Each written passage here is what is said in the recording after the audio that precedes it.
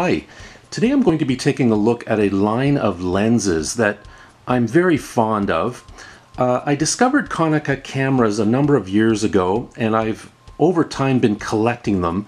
Uh, I now own every Konica camera from the uh, auto reflex line. Now this line started in the mid 60s and went all the way up to the late 80s. And I hope to have another video where I talk specifically about the cameras, but in this video I want to focus on the lenses.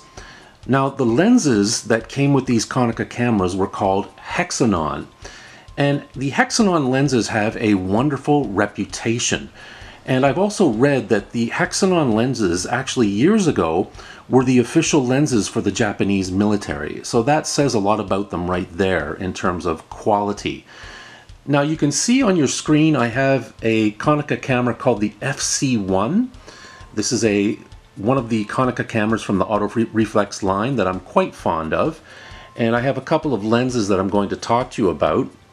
This lens here on the right is a 50 millimeter f1.4. And the 50 milliliter lenses are very popular on secondhand websites. Uh, you can see them quite often on places like eBay. Uh, a lot of collectors look for the 50 millimeter Hexanon lens in particular. And again, this is the 50 millimeter f1.4. There's also an f1.7 that is also quite legendary. And I'll just give you a look at the lens itself, the body. We see there, it's a very sturdy lens, very responsive. I quite like using the 50 millimeter lens. But I will say, my absolute favorite Hexanon lens is actually this one. Okay, and we see it's the 28 millimeter f 3.5 just a beautiful, beautiful lens. I've used it many times over the years and it's never let me down. And certainly the thing about Hexanon lenses is they have a reputation for being pin sharp. It's funny, I'll also mention that it seems to me that Konica always took a back seat to much more popular brands like Canon and Nikon. But quite frankly, I've spoken to a lot of photographers over the years and I've read a lot of articles about Hexanon lenses, and many, many professional photographers have said that the Hexanon lenses are just as good as anything that Canon did or Nikon did, and some photographers felt that they were actually even better. So this is a big reason why Konica cameras and the Hexanon lenses are quite popular, because they can be found for a rather inexpensive price. And that's one thing I love about Konica cameras because they don't necessarily have the same reputation as Canon or Nikon, they can be often bought for half the price. Now my FC1 here, I think I bought this camera. It came, I think, with three or four different lenses and a bunch of different other accessories. And I believe I paid about $100 for the whole thing. So I really got a good deal. Uh, I believe this lens actually came with the camera. The 50 millimeter f1.7, I can't quite recall exactly where I found it or how much I paid for it, but I know it wasn't an extravagant amount. Now again, I think it's a real shame that Konica never really seemed to get the attention or the accolades that were given to much more popular or much more well-known uh, camera manufacturers.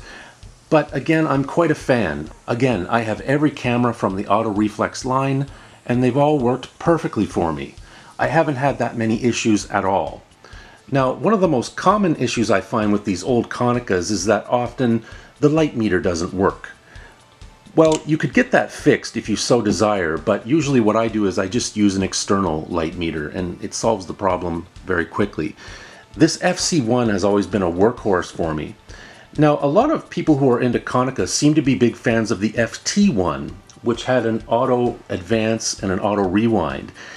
Uh, I have the FT1. It's a nice camera, but I must say I'm more fond of the FC1. Uh, the light meter is very responsive. It's a series of vertical LED red lights, and it always seems to work very accurate for me.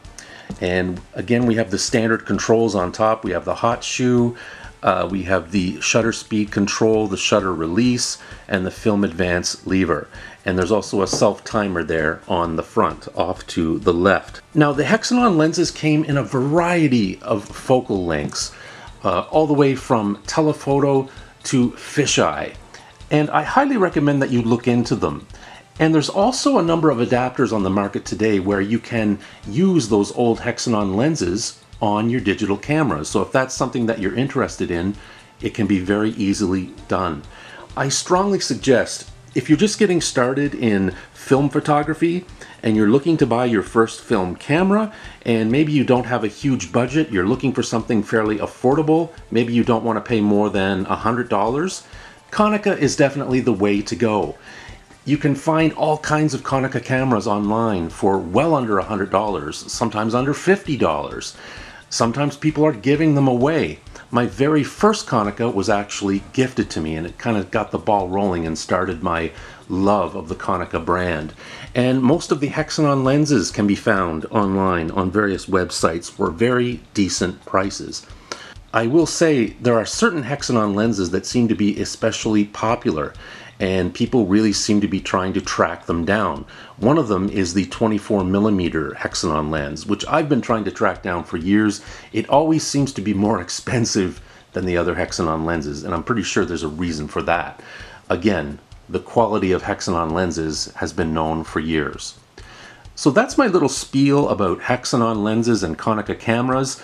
Again, I do hope in the future to make a video that focuses specifically on the cameras themselves Thank you for watching. I hope you can join me again next time. I do often do tech reviews related to photography, especially film photography. So if you're into film photography, either 35mm or 120, please subscribe to my channel. I do often post camera related videos. Thanks for watching. Please subscribe, give us a thumbs up, leave a comment. We'd love to hear from you. Thanks for watching. We'll see you again next time. Take care. Bye-bye.